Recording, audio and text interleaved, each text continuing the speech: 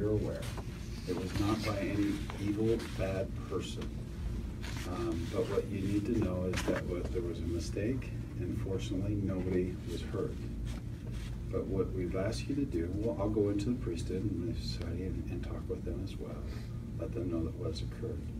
There have been some other threats against other individuals in a different ward. And so there's a particular level of precaution that another, that the other ward, the Sherwood Hills Ward, is taken. And as part of that, uh, it was a mistake because a safety got, got, came off her gun and it did discharge inside that, inside that, uh, uh, what the, the, the, the opening area, right there by the front doors. So that's what's happened, but we'd appreciate, I know you have your free, freedom to do as you will, appreciate you not spreading that around, because then that could incite the, the issue that they were trying to protect against. It's by chatter, social media, or otherwise. Does that make sense? Do you have any questions about? don't say anything about it? You can talk, you should talk to your mom and dad about it, you can talk in here, that's fine.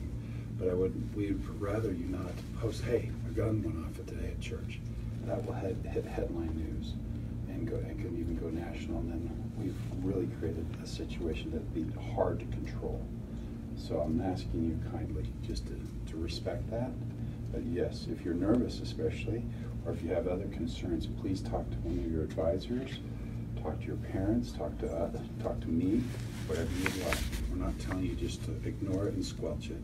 I'm trying to explain what has happened so that you understand what happened and why.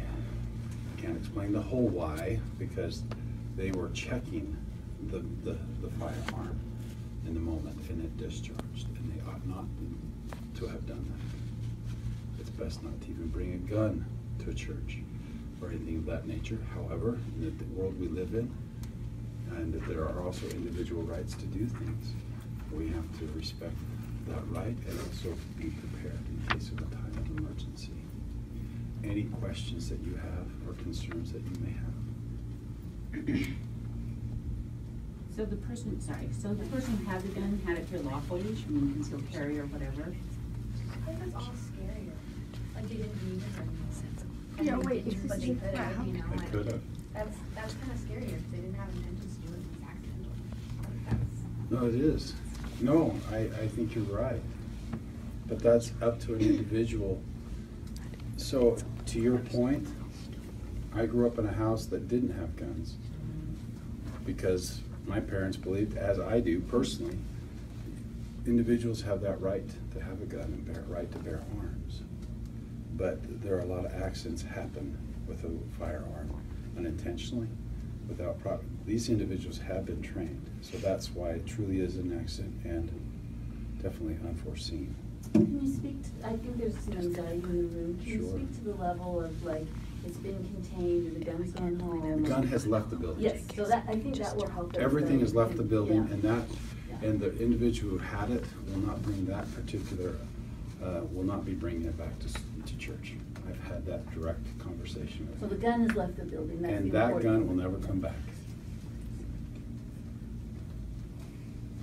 And yet, and I don't mean to create more anxiety, but I think you're, you're old enough, you can handle what happened. You obviously heard it, so I would like to talk about it. Do you have any other concerns? I, are you, I don't know your name, I'm sorry. The first girl I had a crush on was named